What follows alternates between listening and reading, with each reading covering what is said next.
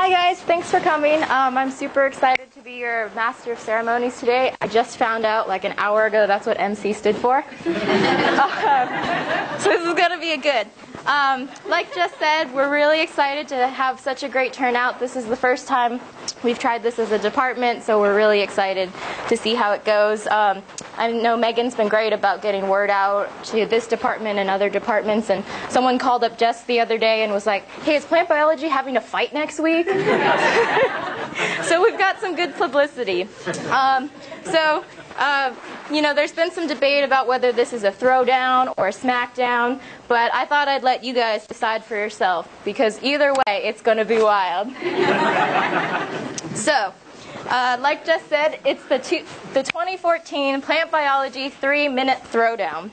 Well, I guess that solves that issue. It's a throwdown.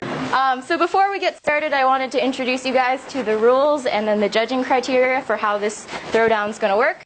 Um, for the presenters, you will each be allowed one slide, and that includes no animation, no sound, and no video.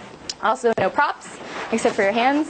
Um, and most importantly, your presentation cannot exceed uh, the three minute mark, and that's absolutely critical.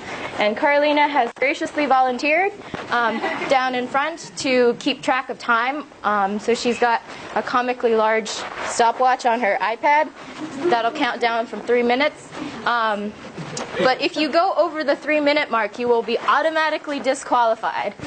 So no pressure, but it's not. It's a three-minute thesis competition for a reason.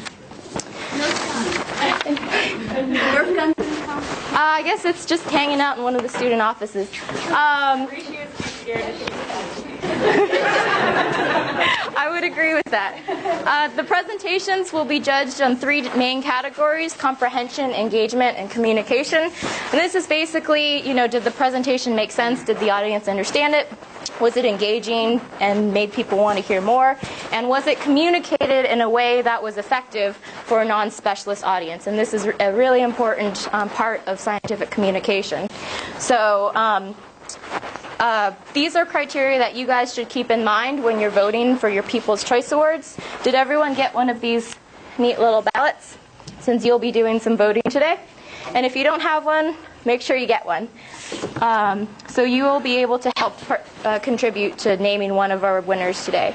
Um, but because plant biology rolls hard, we also decided to bring in some professional judges to make this the real deal. So I'd like to take a moment to introduce our judges. Uh, first, we've got Dr. K- uh, Kathrin Stanger Hall, who co-taught a science communication seminar in the plant biology department a couple years ago that Jess and I took, and it was awesome.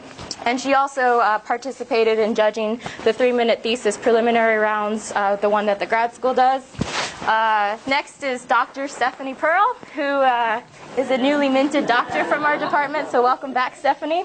She also taught, co-taught the science communication seminar with uh, Dr. Stanger Hall, and she's also a co-organizer for the Athens Science Cafe that just talked about.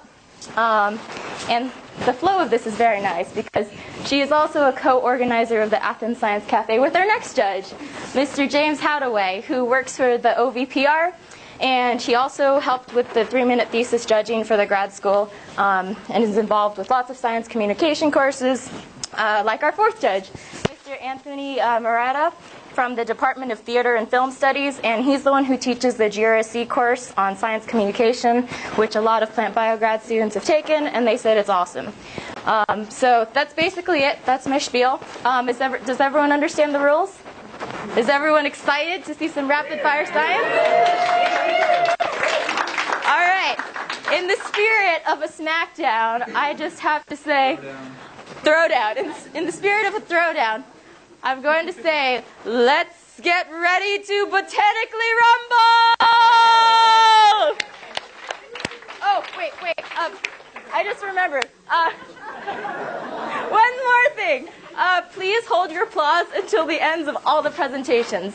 Um, so we'll have an easier time transitioning between um, participants. So just hold all your applause to the end and then go nuts. Okay?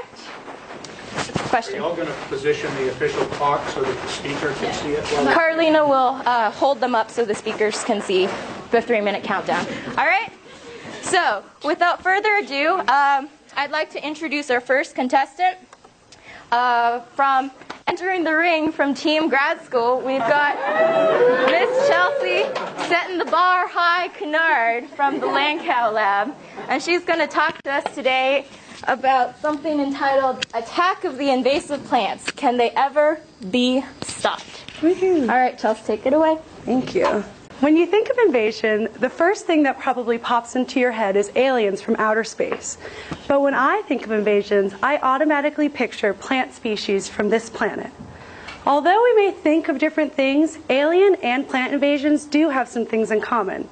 First off, when aliens and plants Alien and plant invasions both require the movement of the species into a new area from its native land. Second, when aliens and plants invade, they become the dominant species in the community and cause all sorts of problems. Invasive plants can alter ecosystem services like decreased pollution mitigation and local biodiversity. For my dissertation, I decided to study the invasive plant over the alien because they're a little less scary and easier to find. I have chosen to study an invasive grass, Japanese stilt grass, and whether it's able to maintain being an aggressive invader through time. Scientists think that one reason why certain plant species are able to become invasive is because they escape their specialized pests and pathogens. In the native range, these pests and pathogens, like insects and fungi, are able to stabilize the population. But when these plant species move into their invasive range, they escape these specialized enemies, and this allows for explosive population growth. However, it's unclear for how long this actual release from enemies can last for. It's quite possible that these enemies can catch up to, their, to these invaders, either by coming from the native range or developing in the invasive range. In my research, I will explore whether this invasive grass accumulates soil fungal pathogens through time, and whether this can be related to a decline in the grass's health. So far, what I have suspected is supported by my data. I have found an increase in mortality at older invaded sites, and this is correlated with the change in the fungal community in the soil. Although I still have some work to do to figure out whether this change in the fungal community is actually pathogen related. This research is really important because understanding how invasion plays out through time can actually help in management goals.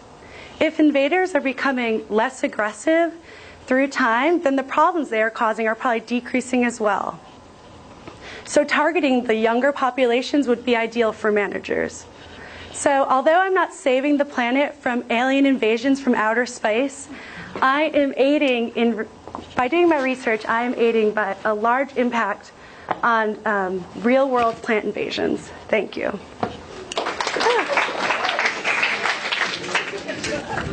Hold on now. What did I say? All right. Thank you, Chelsea. All right. See, not bad, right? Get all, get all the anxiety out.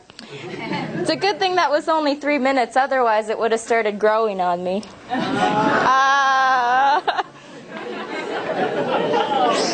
all right. All right. Enough of that. So now we've got our first participant from team faculty, Dr. Chris Peterson, uh, and he's going to shake things up a little bit uh, uh, with his presentation called Using Tree Wind Damage to Improve Meteorology's EF Scale. All right, so most of you know that I've been studying uh, windstorm damage to trees and forests for most of my career. Um, during that time, I've realized that the meteorolo- meteorological community has a problem, um, and that is uh, one of their most dangerous phenomenon, tornadoes. Uh, we all know about them. Uh, are very hard to study. They're short-lived. They're very unpredictable. Um, very hard to study in real time unless you happen to be parked in the right place with your Doppler radar pointed at the tornado. It doesn't happen very often. Um, so, as a result of that, they're forced to sort of rely on retrospective approaches to study tornadoes. Uh, one of which uh, you've probably all heard of is the F scale, or the EF scale is the new name. Um, this is a damage scale in which uh, tornado wind speeds and tornado behavior is inferred based on damage to buildings or structures or, in fact, trees. Uh, this is where I come in. Um, I can help them. So, uh, the, the, problem is the EF scale um, has a number of criteria uh, for, for rating tornado intensity. Most of those criteria are based on buildings. Some of them are based on trees. Uh, unfortunately, the tree part of the EF scale is deeply flawed. Uh, it has a lot of problems, and I've been telling them this for a couple of years now. And they're starting to listen, thankfully. Um, but instead of just sitting on the sideline and complaining, I thought, how can I help them? Because I do know a little bit about trees. And the answer seemed to be uh, help them calibrate the, the tree part of the EF scale. And so, how do we do that? Uh, that's what I'm going to talk about here for a minute or so. Um, and that is to go to a post storm situation and compare side by side damage to houses, which are understood really well from an engineering standpoint. Um, we can be pretty confident of our estimates of wind speeds based on house damage and calibrate that to the trees that are right next to the house. So here's a couple of examples. Here's a house that has EF2 damage. Here's a tree that has hardly any damage, and so that would be rated EF0. So that's sort of a problem. So these two pictures kind of illustrate the problem. The answer is to go through for a large number of houses. This is a project that's still underway.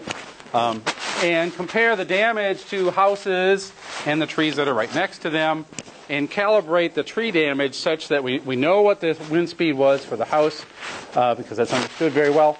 Um, and then we can calibrate the types of damage to the trees. So whether the tree is intact or standing or defoliated or branches broken or, or whatever.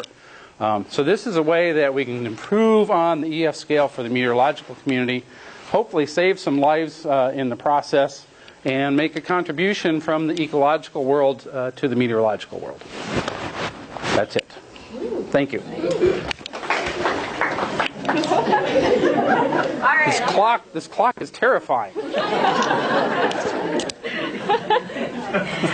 If you guys are really excited about a presentation, just. Woo! All right. So next we've got uh, someone from Team Grad School. We've got Ed Macatak McAssey talking about another very important issue. Here you go, sir. And he's going to talk to us today about climate change, problems, predictions, and what we can do. All right. Thank you. Right button. All right. On Friday, President Obama set aside $183 million for the western part of the United States. Uh, this upper panel shows why. Uh, this is a map of drought in the western U.S., and the darker colors here represent more pronounced drought. So you can see they're really focused in California, and this has really big impacts on crops, livestock, as well as drinking water. Um, while we can't generalize from a single weather event to global climate change, this is certainly adding to a body of evidence that uh, these drought periods are becoming more and more common and uh, are certainly suggestive of global warming. So, what we can see up here in the upper right is a prediction. It's a computer model comparing average temperatures in the year 2100 to present day.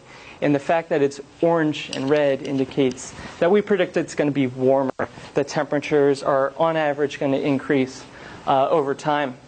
Uh, so, as plant biologists, we're concerned. We want to understand when and where we can plant our crops in this changing environment. And this is a crucial question.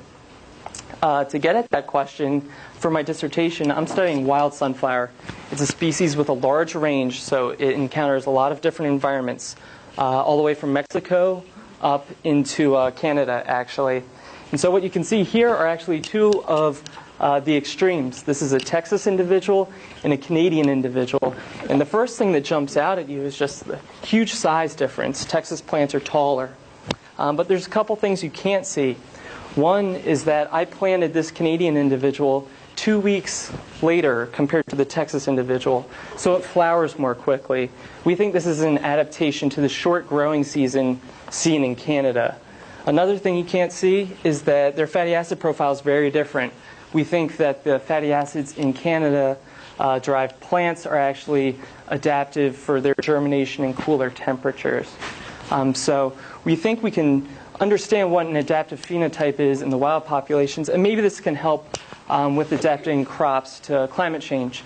Um, but wild populations are also a tool for outreach, and that's what we're seeing over here. Uh, as a part of a module I've developed for Hilsman Middle School, I'm growing wild carrot and lettuce, as well as high yielding cultivars. And what we're going to do is keep some well watered, drought others, and uh, let the students measure the phenotypes. Hopefully, they take away two things. One, uh, hopefully, they are in awe of the domestication process. Oh, wow, this is what a wild carrot looks like. Um, but beyond that, uh, hopefully they can see the impact of climate change on the food we eat, and hopefully that builds a lasting connection, and maybe they'll be the future scientists to tackle the problem. Thanks. You scared of me. I like this. All right, good job, Ed.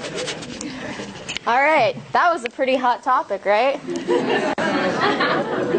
but there is a purpose for that segue because speaking of hot topics, we've got Dr. Shumei Chang here to talk to us about pollen competition. So in style. in style. So she's going to talk to us about is bigger always better? All right. Don't laugh too loud. Okay, um, so actually, I'm going to switch, you know, sort of the, the kingdom here a little bit and get you to start thinking about moose. Okay, so when you think about moose, what do you think first? Ridiculously large antlers, right?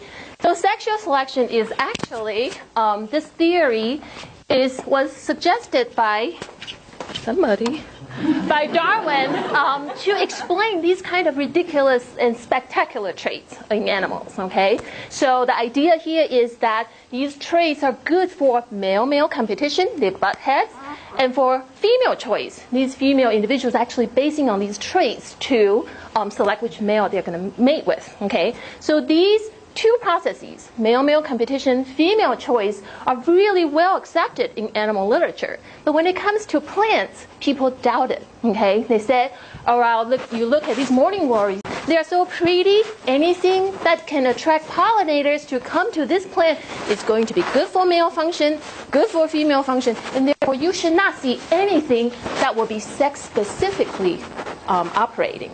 Okay, so I beg to differ because I think what we are focusing right now is actually these really flashy traits that happen before the pollinators come. But what's important is actually after the pollinators have come. Okay, so these pollinators, they bring pollen grains, they come to the stigmatic surface. This is my representation of stigma. And they say, okay, we have different pollen grains coming from different individuals. Now, ready, set, go see who is going to run faster, grow faster, and reach the girls first, right? And so that's the what I think sexual selection can can be applied to plants. Okay, so what I did was that we developed these two lines of pollen, gra- uh, pollen grain lines. One has larger pollen grain, one has smaller pollen grains, and we put them on the, on the stigma. And I hope you can see that these little thin lines are actually pollen tubes that are growing out of pollen grains. Okay, they're racing down the style tissue to reach the female, the ovules. Okay, of these plants. Okay, and so the specific question that we're asking in this line of research is: Is pollen size, which is a trait that I could find that is, is as male as you can find in a hermaphroditic plant? Okay, is larger pollen grains always better than small pollen grains when it comes to getting the girls. Okay, and so we did this. We brought um, larger pollen grains, small pollen grains, put them on the stigma, and then we look at the seeds that came out from these pollen competition, male-male competition, and what we found was that indeed larger is most often better, but not always. Okay, so we found 78% of the seeds that actually came from. Is that what I, what I have left? Okay, so um, so given that result, we want to know why that happens. Thank you. That's all I have.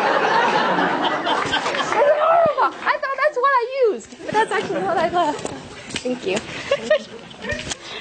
Oh boy.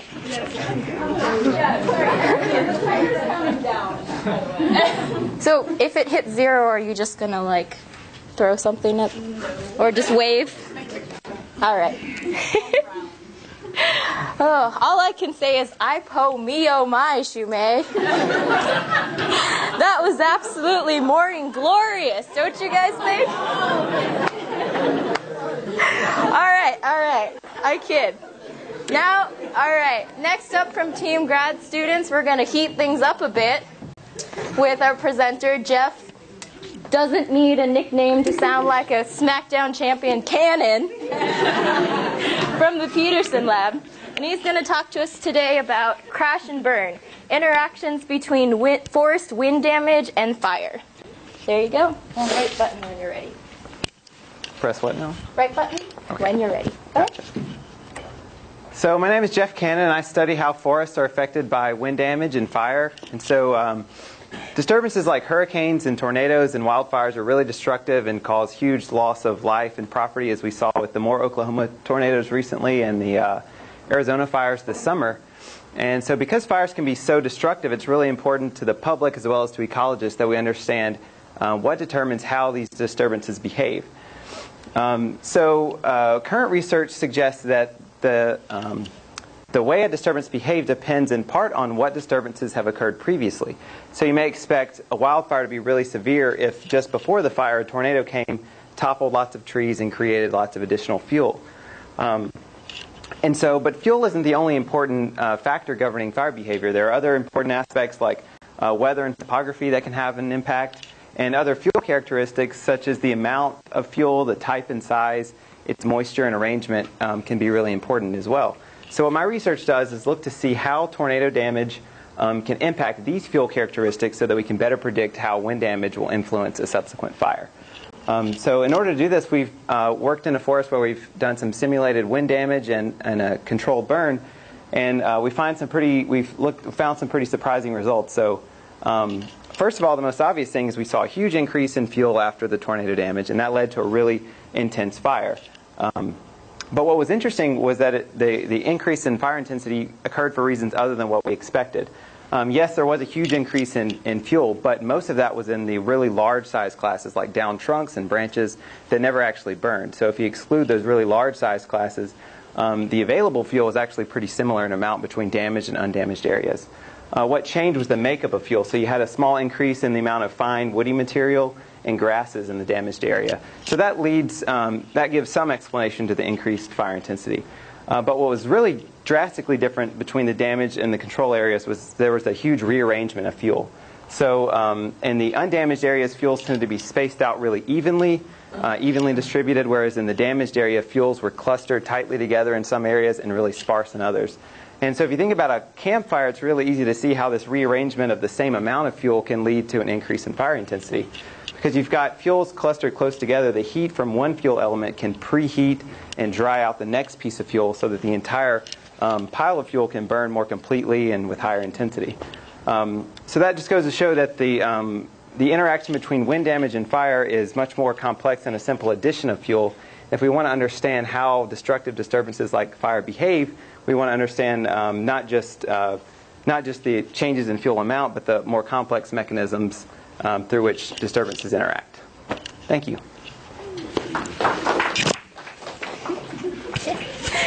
Thanks, Jeff. All right, that was also pretty hot, guys. Now, okay, don't get me wrong, Jeff is great, but if you're interested in a real fungi, look no further because representing team faculty, we've got Dr. Michelle Momany, and she will be talking to us today about exploring the septin cytoskeleton in a fungal model system. Right? I gotta correct you though. I'm a fun gal. so which one is it? Right button.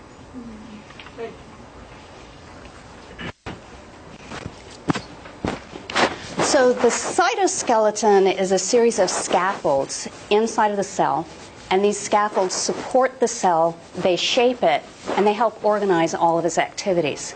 Septins are a really recent discovery that play a part in this cytoskeleton.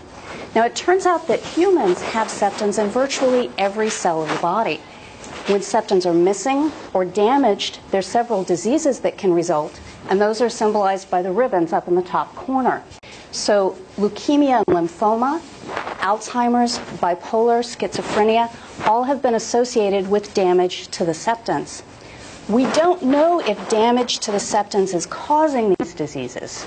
We don't actually even know how septins are organized or what else they interact with in the cell. Trying to figure out what septins do in a human is a little bit like trying to figure out what steel does in the world's tallest building. The Burj Khalifa, pictured over in this corner, is 2,700 feet tall. It's 163 stories, and it has 55,000 tons of steel. Probably not the simplest place to figure out what steel might be doing. Enter the humble fungus. yes, bread mold, shower curtains, toenails, that kind of fungus. In the bottom center here is aspergillus, the fungus we work on in my lab. And fungus is to human as cottage is to the Burj Khalifa. Smaller, simpler, but they have many of the same basic systems. So, in one set of experiments in my lab, what we did was take a green glowing tag and add it to a septin. And you can see that result here in the center. In the same way that a string of Christmas lights will show you the position of a roof line, this tag shows you the position of septins within the cell. And what you see in this particular example is a very young fungal cell with one tube coming out, and the septins are forming rods along the outside of that tube. In another series of experiments, we took septins and removed them from this fungal cell. We expected that the cell might collapse, but we, what we saw instead is pictured in this bottom corner. Instead of seeing just one tube emerging from this young cell, we now saw multiple tubes emerging. So we're working right now on trying to understand how the loss of a septin is leading to uncontrolled growth in this fungus. And we think that understanding this will help us better understand the connection between septins and uncontrolled growth in human diseases like cancer. Thank you. Thanks, Michelle. I can really see why her research gets a lot of support.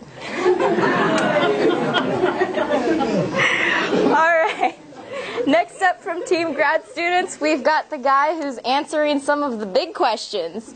His name is Asparagales harkesi, but you guys might know him better by his common name, Alex Harkess. And his talk is called Why the Why. I dedicate this slide to Kelly Dawe before I begin. Likely, most people in this room have 23 pairs of chromosomes. One of these pairs is called a sex chromosome. It's what genetically determines you as either a female, having two X chromosomes, or a male, having one X and one Y. Now, under the microscope, the X and the Y chromosome look very different in humans. The Y chromosome being about 10% the size of the X, and having only about 78 genes, relative to the X chromosome's nearly 2,000 genes.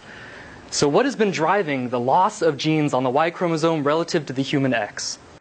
Well, we know that this has been happening over the last about 200 million years. What we can't do, though, is go back in time and look at what the Y chromosome used to look like and identify mechanisms that might be initiating this massive loss of genes on the Y chromosome. What we can do, though, is sorry, this is important to us because at the current rate of gene loss on the Y chromosome, we may be facing a possible extinction of the Y chromosome in the next 10 or 20 million years. My research is dedicated to all the men out there. what we can do, though, is look at systems that have very young sex chromosomes, and we can see what does a very young Y chromosome look like and what might be the mechanisms that drive potential degeneration of Y chromosomes relative to the X. I work with asparagus, something that you might find in the vegetable aisle of your grocery store. Asparagus is a very special plant because it's got very young, identical X and Y sex chromosomes. Just like in humans, XX makes a female plant, XY makes a male. Now, when we look at the X and the Y of asparagus under the microscope, very unlike humans, they look identical to each other. But when we look a little bit closer at the DNA level and we compare the X to the Y and look along its length for differences that might be specific to the gender, what we see is that the Y chromosome is a little bit different from the X. And that specifically, the Y chromosome has a region bound on the left side and the right side that contains genes that are essential for maleness. Now, in this region, it essentially is acting like a trap. We know that these genes need to be on the Y chromosome, so the Y will do everything to keep them in place. Now, like any good trap, things can come in, but things can't come out. So when we look at the Y chromosome relative to the X, what we find is that on the Y chromosome, these potentially harmful DNA elements called transposons are accumulating in this trap on the Y, and they're not being able to be let out. Now, what this eventually is ending up is that maybe the Y chromosome is going, y chrom- Y chromosome is going to accumulate as many of these elements as possible, which eventually may be harmful to the Y. So perhaps uh, a more terrible story than anything is that maybe Y chromosomes are born to be destroyed and that there's no stopping this eventual degeneration of the Y chromosome. Thank you.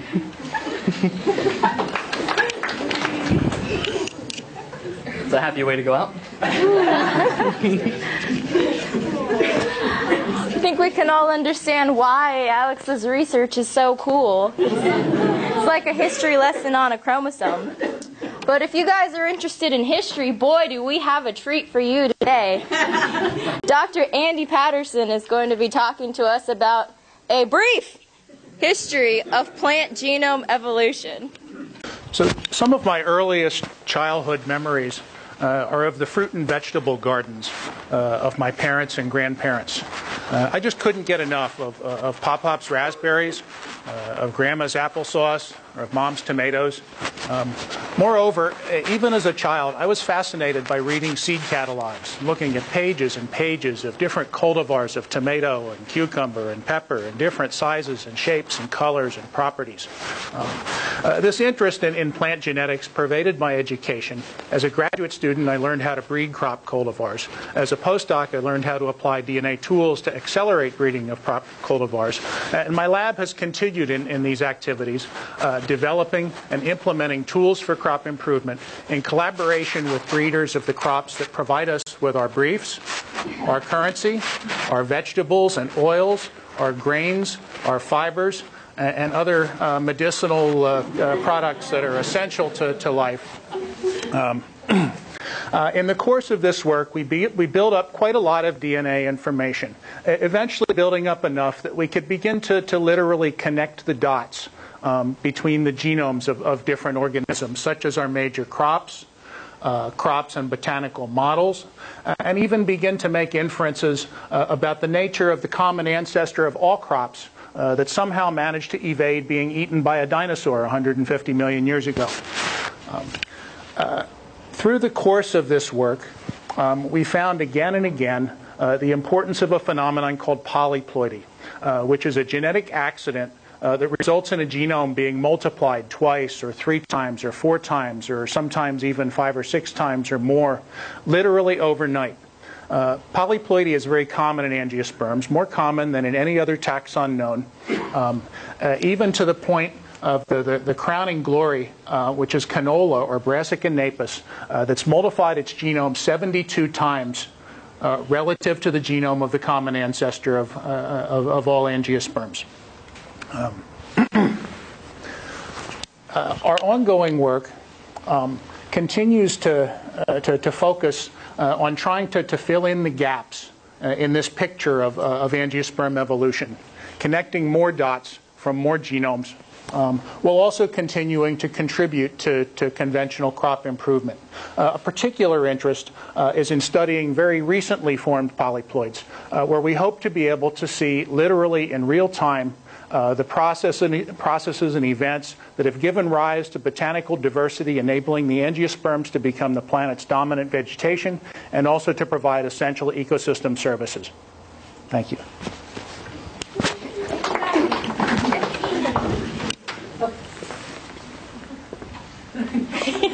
great, thank you.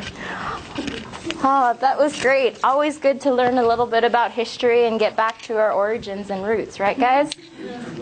Speaking of roots, our next contestant is a guy who is so far underground you might think he was a spy.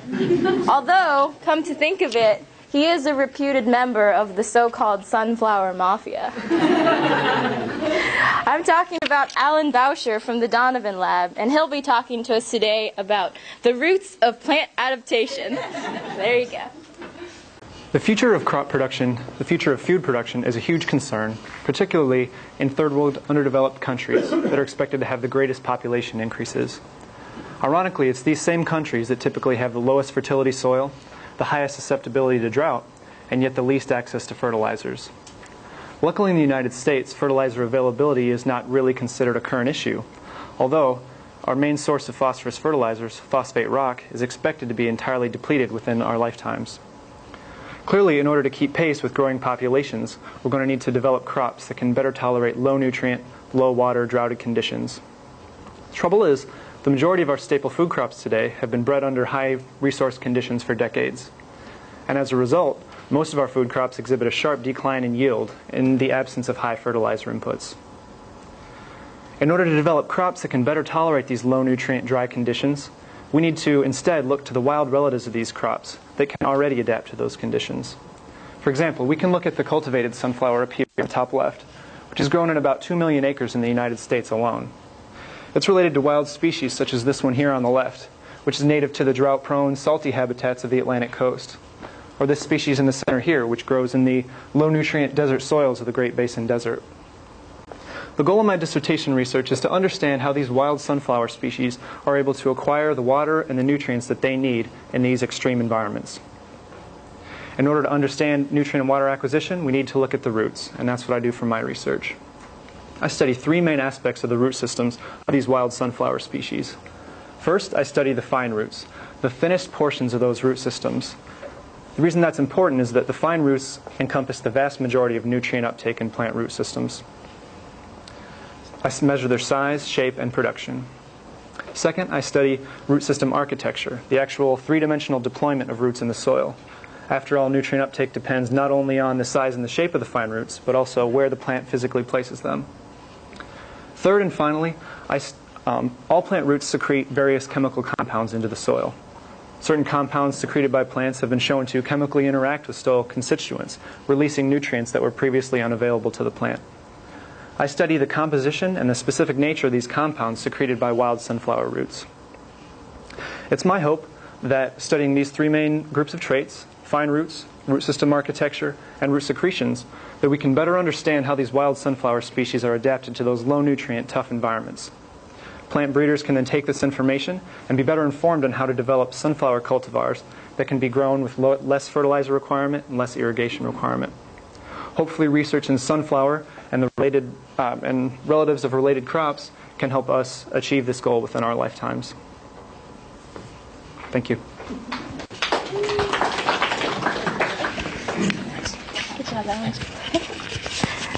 Can I just say, as an objective audience member, I think these are some beautiful plants. All right. Uh, for our next contestant from Team Faculty, we've got Dr. Xiaoyu Zhang, and he's going to help us take a closer look at chromatin modification in plant stem cells. Yes, please. Uh, just remember, you see the tallest tree today on my slide. so um, this is a, t- a tree that uh, Alex sent me, and um, and there are a few uh, dots here that are actually uh, you, you, can probably see organisms that would normally refer to as humans. Um, so at the time of discovery, this was the tallest tree in the world and was um, about 370 feet tall. And since it was discovered, it grew a couple of feet taller still. Um, it's probably around a couple thousand years old, and it's nowhere near the oldest tree uh, discovered on Earth, which is uh, 9,550 years old. Okay, so we uh, we don't work on trees um, exactly. we work on Arabidopsis. It's very similar to trees. Uh, the reason I'm telling you this is, is, because really the, the whole above ground part of uh, of these plants are, are produced by very small uh, group of cells called uh, uh, the stem cells in the in the shoot apical meristem called the um, in the center of the shoot apical meristem. It's going to uh, do two things. They keep on dividing and keep a small population as stem cells. So this is the maintenance part. And they also supply cells to other zones to differentiate into all the above ground um, tissues that you see. So based on gene expression differences, you can define a few different zones that are going to do very different things in, uh, uh, as the plant develops. Okay? So we work on uh, chromatin modification. We uh, came to realize that the mod- modifications of chromatin probably plays a pretty important role in, the, in regulating the balance between this maintenance and the differentiation part. And the reason is, for example, this is a mutant that cannot uh, trimethylate lysine 27 on histone H3. Okay, so what you're seeing here is actually a double mutant plant. Okay?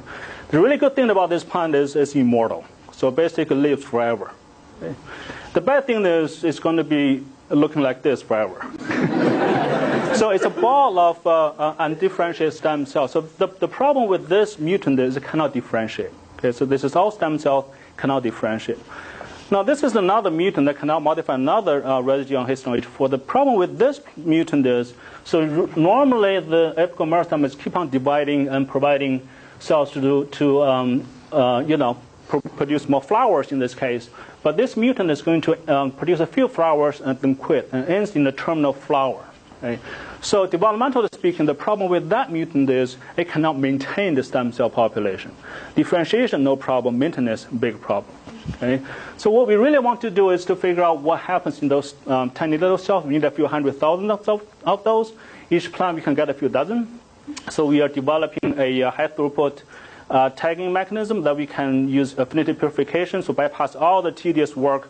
You just have to grind up the plant and then do experiment. And you can figure out what's happening in the cells that as they're being maintained and differentiated into um, uh, lateral organs. Okay? So this is uh, uh, being done in corn. So we're looking at specifically these cells to figure out how they're maintained, how they transition from one state to another. And hopefully, uh, in a year or two, uh, when the corns are old enough or big enough, we can do some experiments.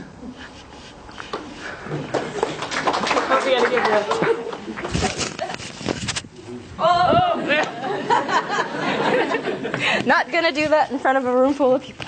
Whew. Yu, when you said you were gonna show us the world's tallest plant, I started having panic attacks about like some Godzilla Arabidopsis or something. Whew. All right.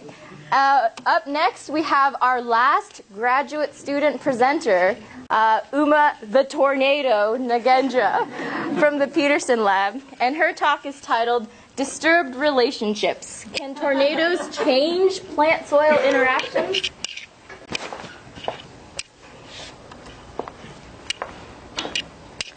In August 2005, Hurricane Katrina blew through my hometown. I came back to find houses moved off their foundations, magnificent trees uprooted or snapped in two. Natural disturbances like these are very powerful, yes. But to me, what's even more powerful is what happens afterwards recovery and regrowth. We saw this in New Orleans that people can get together and rebuild. But I'll tell you what, forests are even better at it. They do it all the time. We see landscapes that look barren one year, the next year they're full of lush green life. When I saw this after Katrina, I wanted to know more. And it turns out we know a good deal about what species come back, but we haven't looked as much at how tornadoes change, what species, how species interact. And species interactions are really important for ecosystems. Take plants and soil, for instance. In one gram of soil, you have millions of bacteria and fungi doing really important jobs. Soil is how plants get the resources they need. And they can't just get up and walk to a new location that has better stuff. So they're at the mercy of those soil organisms to either help them or take advantage of them. It's the relationship between the plant and soil that can determine whether that tree can spread out and dominate an ecosystem or have a diversity of neighbors. And it's not as simple as friend or enemy. It's also about how close that relationship is. You have some friends that you're really close with, like your best friends, but also people you just share cat pictures with on Facebook. the same goes for negative interactions. There's arch enemies like the Joker who just wants to get at Batman. Also, some guys who are just jerks to everybody. The specialists are like specialist relationships are like the best friends of the arch enemies. They really just involve a few species. There are others that are generalists that affect just about everybody. And because they affect just about everybody, it's the specialists that can make it or break it for a particular plant. What I expect to see after a tornado, so such an abrupt change in the environment, is that the generalists would be more able to survive a disaster, which means you'd end up with an ecosystem that's full of Facebook friends and jerks, which affect everybody equally. So any disadvantage or advantage that the tree would have in an ordinary situation wouldn't necessarily be there. Now, although I first got interested in this from Hurricane Katrina, this is an issue for not just the Gulf Coast the past few years, we, have seen Hurricane Sandy and tornadoes ripping through Oklahoma and Alabama and Georgia. We're seeing stronger hurricanes and more frequent tornadoes, especially in the eastern U.S. So I want to see how these changes to our environment could affect our forests here in Georgia. Good job, Emma. Wow, I don't know about you guys, but that presentation just blew me away. and that concludes all of our graduate student presentations for today. And last but not least, we've got our final from team faculty, Dr. Mark Farmer, and his talk is entitled Moving Towards Answering Life's Biggest Question. Right button when you're ready. In my opinion, there's two really big questions in biology. The first is the origin of life itself. How did life emerge from non-living biochemistry? The second question is from those earliest cells, how did it diversify into the wondrous, uh, beautiful world that we see today of biodiversity? And that's a question that was largely answered by Charles Darwin. My research focuses on sort of the intersection between those two. Namely, how did the complex cells that give rise to all the plants, animals, and fungi first arise? And in order to do this, I study a group of organisms, single-celled organisms, that still retain some of those, I think, original features. So when I think about biology, I don't think just about how life is today, but I try to imagine how it was one, even two billion years ago. In my laboratory, we're studying one such structure, the cilium. And if you know anything about cilia, you may have heard them referred to as little tail-like structures on cells that kind of push a cell through the water. But in the organism that I work with, uh, Peranema, it uses its cilium in a variety of different ways. Sure, it can use it to move through the, through the substrate, but it can also use it to feed itself. It can use it to detect obstacles in its way. It can use it to sense light. It can even use it for lovemaking. and I'm not going to show that one. we think that the mechanism by which this takes place is related to a group of proteins known as IFT that are within the cilium. And the IFT complex actually moves up one side of railroad tracks, deposits its cargo at the growing end, and comes back down the other side. And in doing so, it actually changes the shape of the membrane of the cilium. And we think that this small change in shape is what's responsible for allowing these cells to do something unusual, which is to glide along the substrate. So what Peranema does is it lays its flagellum down in front, its cilium in front of it, and basically glides along in what I think is a very, very ancient form of cell motility. Now, all complex organisms, including ginkgos and geckos, still have these IFT complexes. You and I still have them, and I think that they still play a role in our biology, which is why understanding how Peranema moves does have relevance to our understanding of our own biology. Now, if someone came from another galaxy and wanted to know how humans construct buildings, we wouldn't hand them the blueprints to a skyscraper. We would show them a hut with its simple ideas of a wall and a roof and a door by which you go in and out. So in terms of what I do in biology, I study the huts. Thank you.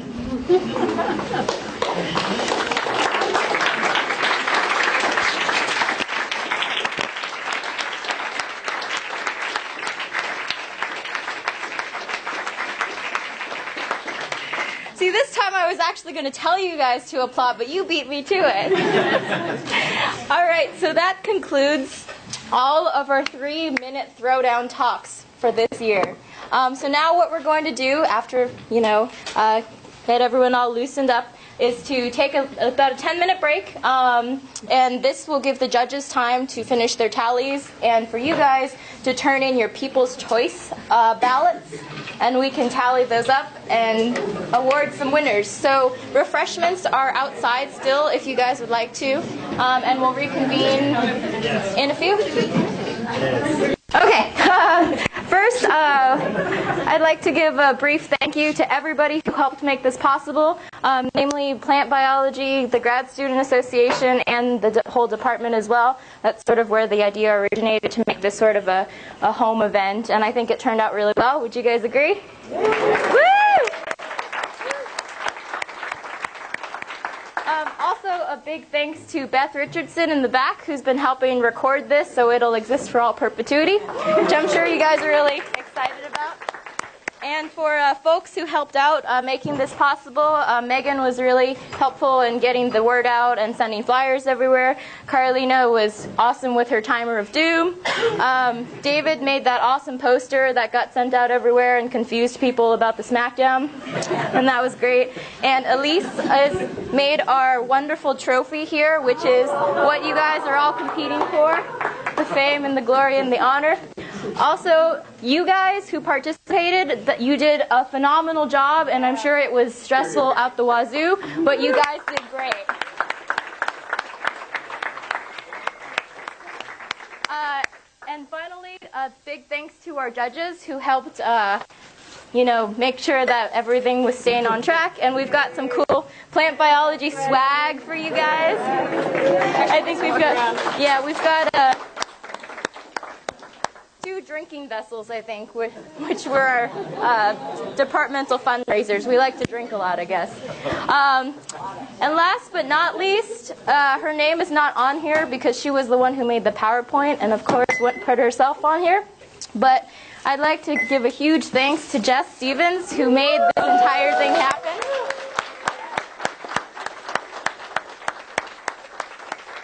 She has done a tremendous amount of work uh, making this a huge success, and I don't know if whoever comes after you as our PBGSA peer evaluator will make this happen in the future, but thank you so much, Jess. And thanks- Caitlin for being an awesome All right, okay. So now the part you guys are really excited to hear about are the awards. So first, we're going to announce the best grad student uh, presentation. And where are my results? Oh, here we go. Okay. With a total of 168 points out of a possible, I don't know how many. they got a lot of points. Please give a huge shout out to Miss Uma Nagendra.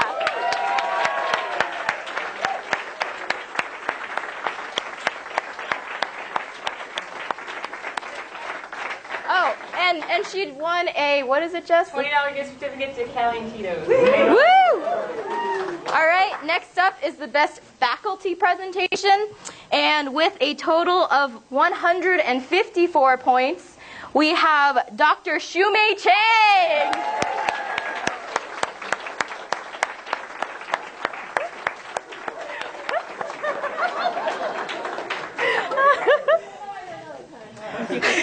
oh, okay.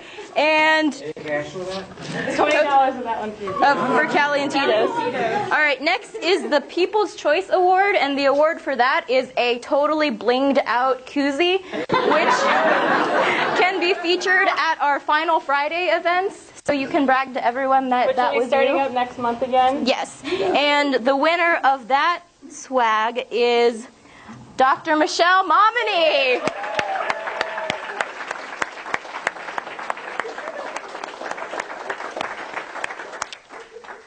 Finally, the moment you guys have all been waiting for is the end all, be all, who was better, faculty or grad students, and the winner with, okay, it was a total of 869 to 825 points. So it's kind of close, guys. But the winner are the graduate students!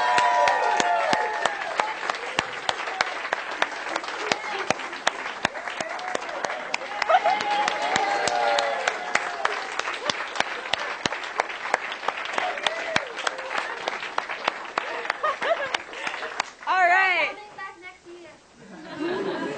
Yeah. Sure. All right. I think that's all we have for you guys. So thank you so much again. This has been a